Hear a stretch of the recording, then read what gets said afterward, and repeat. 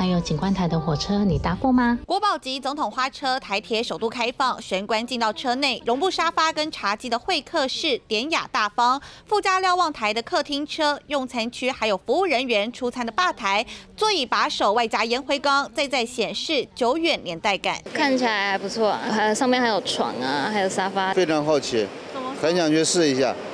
也想体验一下总统的感觉。总统花车一九六七年改造完成，是台湾珍贵的文化资产，富有历史意义、艺术价值，就像移动的博物馆。台铁跟旅行社合作推出花东铁道行程，复刻前总统李登辉当时乘坐的编组，两辆柴电机车头牵引电源车，三辆举光号车厢，总统花车还有客厅车。从今天早上十点开始开卖哈。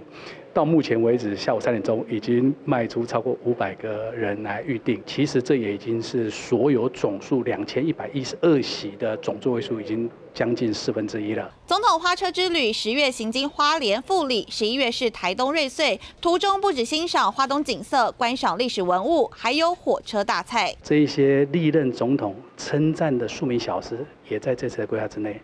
网友分享民国五十年台铁火车菜单，很多现在没有的，包括火车大菜、经济咖喱饭、火腿三文治，价格大约两到三元。最贵的火车大菜十五元。网友解释，就是牛排、鲑鱼等等西餐。专程替旅客还原菜色，这趟铁道之旅仿佛进入时光隧道。三立新闻李文玉，台北采访报道。